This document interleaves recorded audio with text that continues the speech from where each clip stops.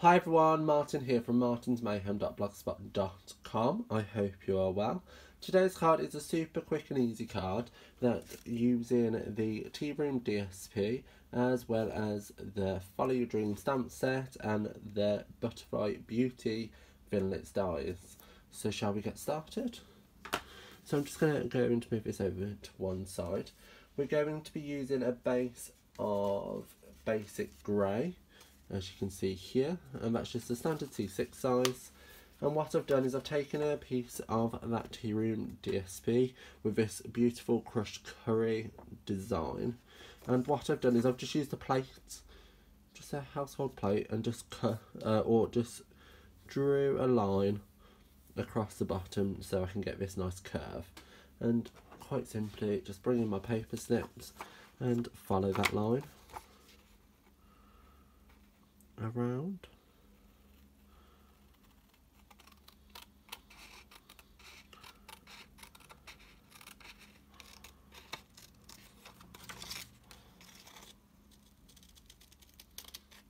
Like so.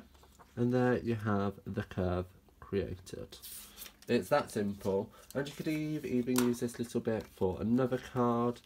Uh, maybe do it alternative way or however, don't waste. So just going to throw that away. So this is the main focal point of our card here. So as you can see, that lines up like so. And we've got this space here, which is perfect for a sentiment. So all I'm going to do is put down my embossing buddy, grab the Follow Your Dreams stamp from that set, and my Versamark ink,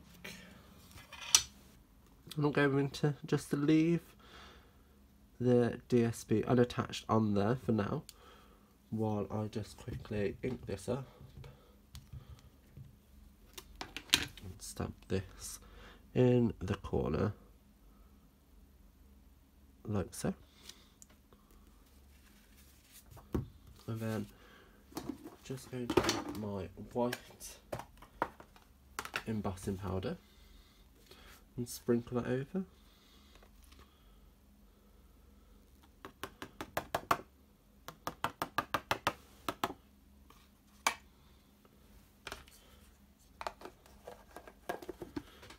And that can be popped away. So just quickly tidy everything up. So put in the embossing powder away and my Versamark before I bring in my heat tool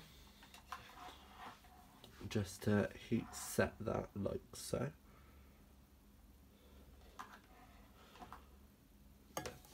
Sorry, I thought something was going to fall over. And I always heat set from the back because it gives such a smoother finish to your embossing. So let that just heat up.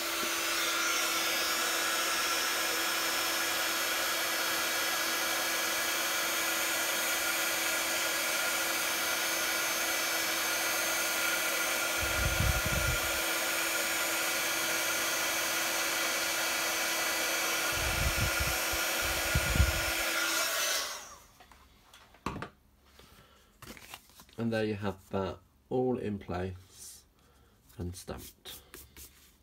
So with this DSP, I actually popped mine up onto some dimensionals. So where have they gone?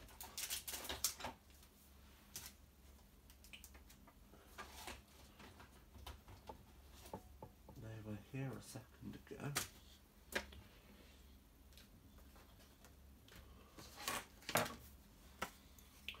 I can find is many dimensionals.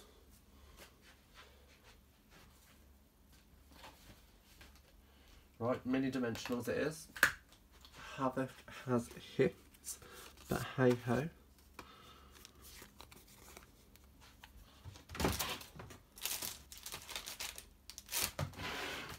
No, somewhere. Here we go. Let's just open up a new pack. Why not? Sometimes things just don't go the way you plan, do they? Hey ho. So, just taking a good few of these and applying them down like so. So I'm just going to go in and do it so it's here in the middle and on the edge. Middle, middle, edge, middle, then edge, middle, middle, middle, and edge. We could turn that into a wrap, we could. And just take all of your backs off, so.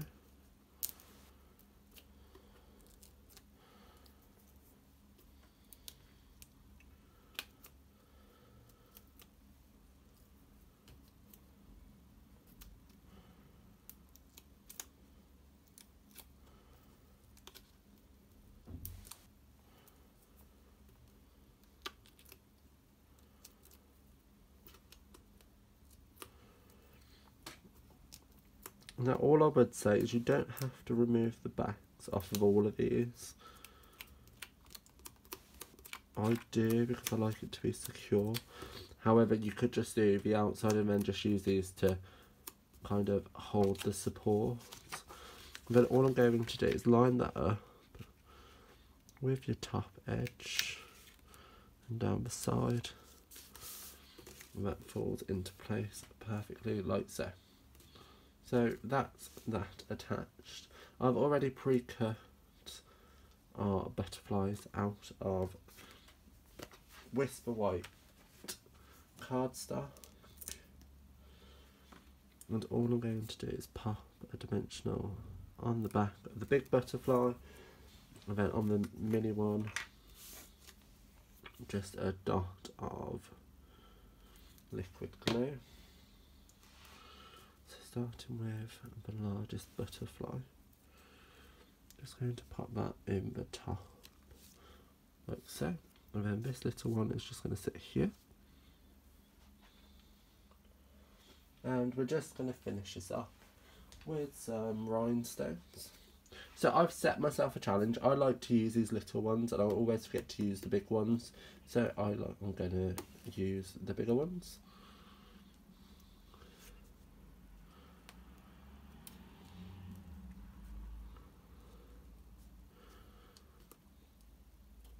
To be different.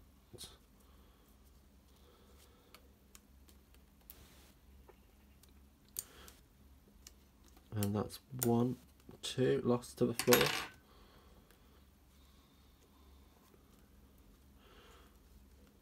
Sometimes it's just quicker with your fingers.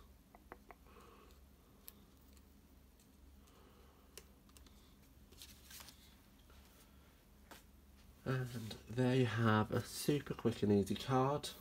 I hope you enjoyed today's card. Why not pop into the description bar below where a full list of the items used are available, as well as links to my online shop where you can purchase the items for yourself. While, while you're down there, like, comment and subscribe. And why not share to your social media so everybody can see how super quick and easy it is to make such a wonderful card. I'll see you around. Bye.